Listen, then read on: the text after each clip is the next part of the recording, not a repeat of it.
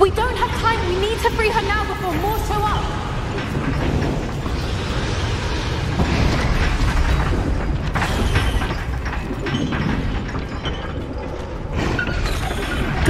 Aim for the ring at the front of her restraint. Accio.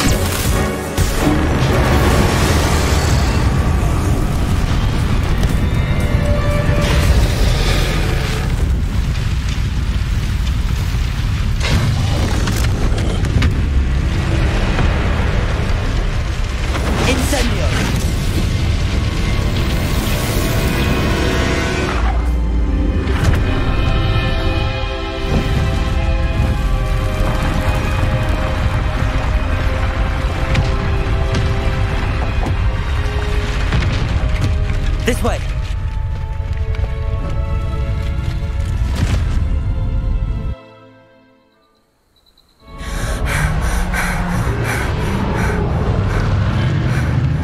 That was a Hebridean black. I'm guessing the egg we have belongs to that dragon. I don't think she knew they had her egg. She wouldn't have left without it. What now? She didn't exactly leave us a calling card. I, I don't know. Nothing about this day was expected, not the goblins, and definitely not the fighting ring. The last thing I planned on was a dragon egg. And the poachers saw us, which cannot be good.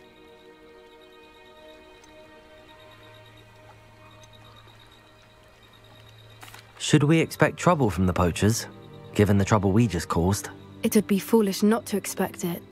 They're not a forgiving lot. I'm sorry to say that you likely have a larger target on your back now because of what we just did. Since the dragon we freed flew off, does that mean we get to keep the egg? I'd much rather we have it than the poachers, at least for now. But I don't think we should keep it indefinitely. It'll be hard hiding something like this from Professor Weasley for long. We aren't helping ourselves standing here. Let's get to safety. We can sort this out later. You're right.